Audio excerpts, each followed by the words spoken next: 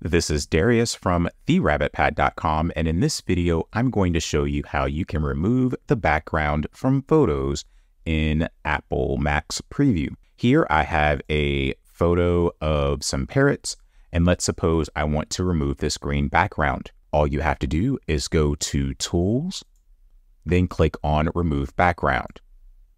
Now, if the photo is a JPEG or JPG format, it's going to need to convert it to a PNG in order to add transparency.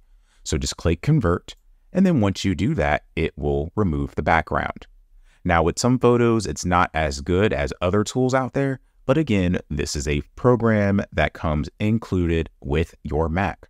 So this video shows you how to remove the background in photos in Apple Preview.